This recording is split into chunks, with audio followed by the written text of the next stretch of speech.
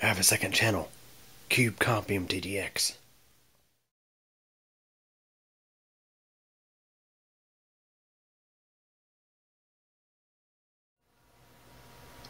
Hey everybody. So one thing about Windows 10 um, that some might um, notice is when you go to delete files, it sends them, of course, to the recycle bin, but does not prompt you. So here, for example, I'm going to delete um, some unneeded files off of this uh, desktop. There's a shortcut that's down here that's uh, no longer valid. I'm going to try to delete it. I'm going to select delete, and you see I get no prompt.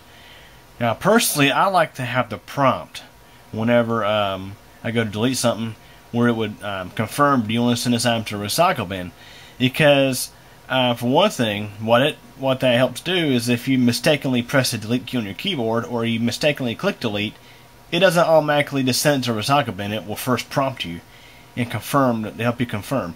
And sometimes you may want to uh, permanently delete an item just, just um, straight from the source instead of going to recycle bin. Um, I like to have the prompts. That way it will tell me, it ask me if it's wanting me to, to permanently delete the file or if it's wanting me to send it to recycle bin. So here's how you can fix that. So right click on recycle bin on your desktop, choose properties,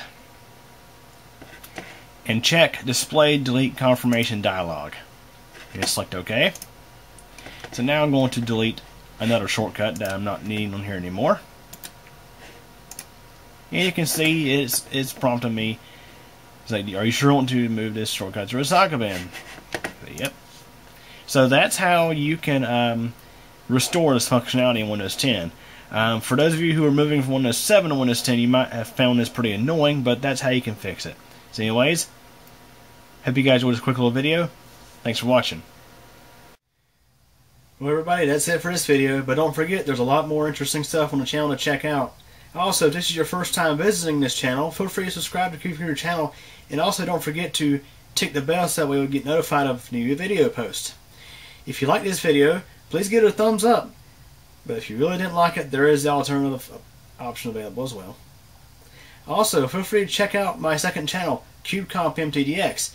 There you'll find videos about bicycling, weather, elevator tours, and all sorts of other neat, interesting stuff. I hope you guys enjoyed this video. Feel free to come back and thank you for your support.